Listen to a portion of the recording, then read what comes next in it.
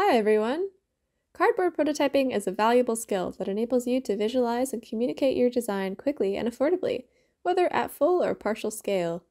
It's a great step to do before jumping to CAD, 3D printing, or machining. Today we'll go over some techniques that will help you make sleek cardboard prototypes. The main tools you'll need are a cutting mat, a metal ruler, a sharp box cutter or X-Acto knife, a hot glue gun, and lots of cardboard. Now on to the techniques. First is cutting a straight line. This may seem simplistic, but using a metal ruler as a guide is a huge help. We recommend scoring a line first, meaning cutting only part of the way through, and then cutting all the way through for a cleaner line. Similarly, cutting a curved line, you can use another object as a guide if you want. Regardless, we still recommend scoring first.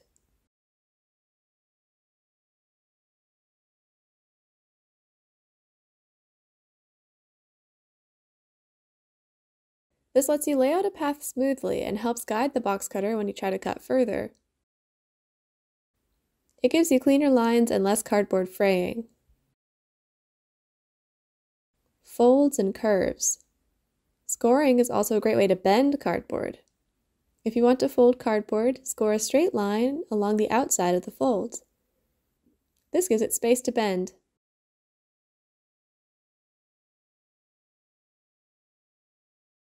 If you want to make the cardboard flexible or curved, score along the corrugations. How far apart you score changes the radius that's possible.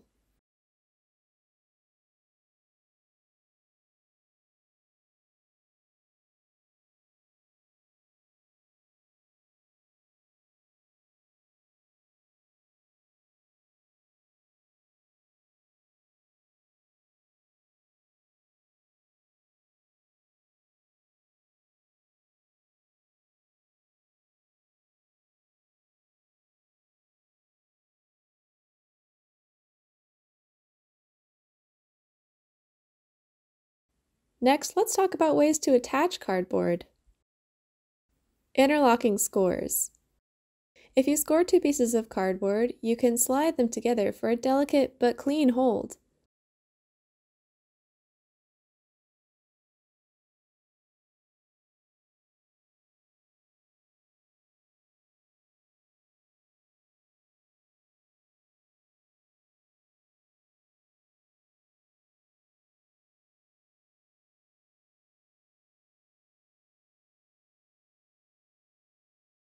If you need to support corners or attach pieces more strongly, you can make tabs following the fold method and glue them onto your pieces.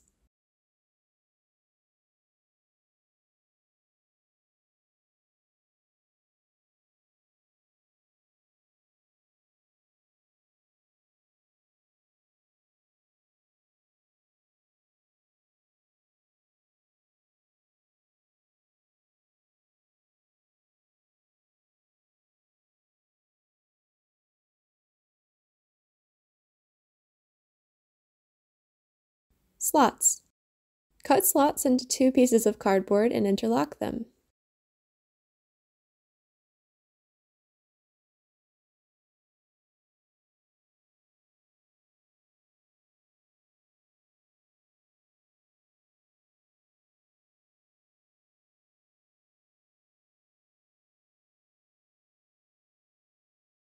Hot glue. There's always the tried and true hot glue method, but watch your strings.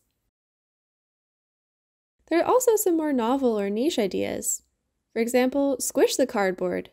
By doing this, you can make it flat and bendy.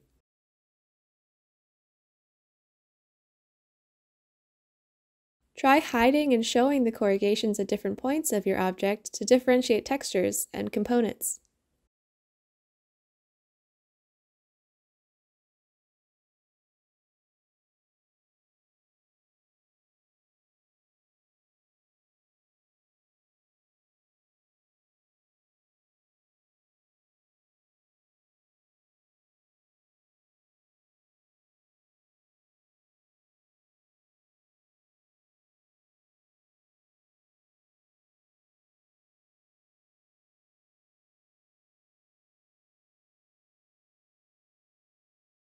Lamination. Need more thickness? Stack pieces of cardboard to build up volume.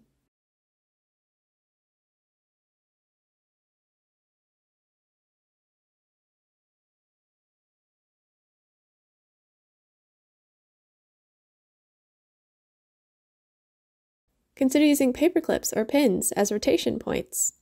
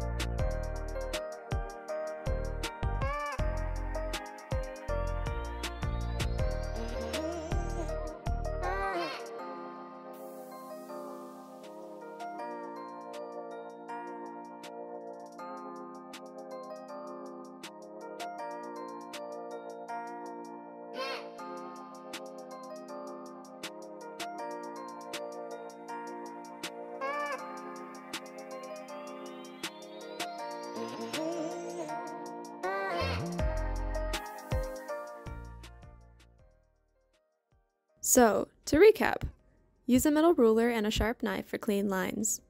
Score your lines first, then cut all the way through. There are many ways to attach and bend cardboard to achieve the desired appearance. Don't forget to experiment with other things on hand to make more unique, more functional prototypes too. We hope this helps get you started with cardboard prototyping. Thanks for watching!